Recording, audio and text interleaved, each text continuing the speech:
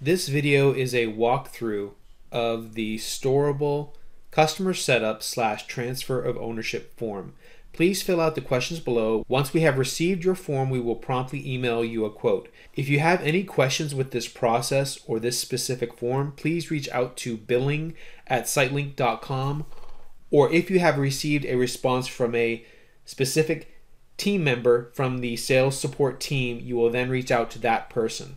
For each of the fields, you'll want to fill them out. The majority of the fields have a red asterisk. If it has a red asterisk symbol, that means that the field is required. So you will go down each of the fields and type in your information.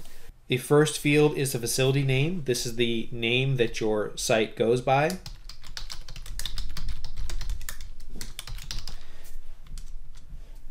The next area is the facility address. This is the physical address of your site.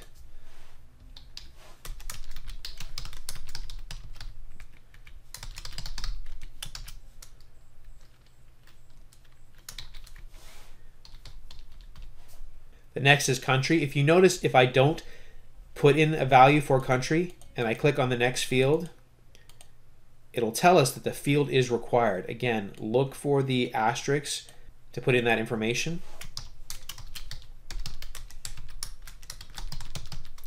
When you've put in your information in the field, click into the next area. The number of units would be the number of units that you want the software program to allow you to have. For example, if you have 500 units, type in 500.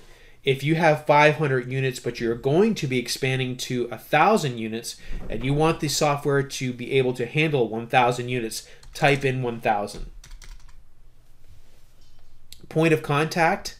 This is the name of the person that you want sales support to be in contact with throughout this process. You'll notice with some of the fields, when you highlight it, there's a little bubble that comes up on the right. In this case, it says, this will be the main point of contact during the implementation process. Hit the Tab key on your keyboard to go to the next field, or you can click on it with your mouse. Point of contact email. This will be the primary email used for communication during the implementation process. Point of contact phone number. It has the area code with the phone number. This will be the primary phone number used for communication during the implementation process. It's extremely important that we have correct information in terms of who the point of contact person is, what their email is, and phone number. That way, we can get in touch with you expediently throughout this process. Are you purchasing a facility that is currently using SiteLink Web Edition or Storage FMS? Click the drop down and you have four different options.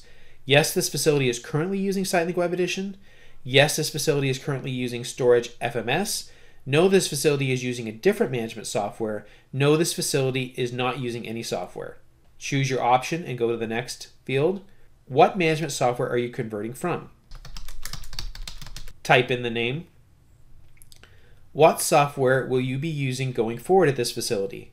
Choose from the dropdown, either SiteLink Web Edition, Storage FMS, or choose Other. If you choose SiteLink Web Edition or Storage FMS from the list, you will have additional options. Do you wish to clone an existing facility software settings? Yes or no? If you click yes, which facility would you like to clone from? Put in the facility name.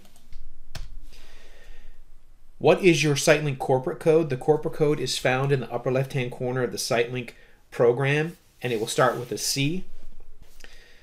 Location code preference. This will be either 3 or 4 at maximum.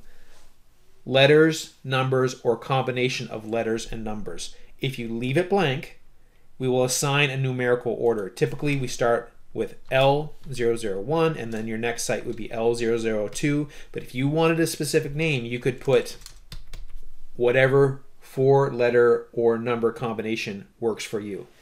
The same thing goes if you're choosing storage FMS. You'll have different options.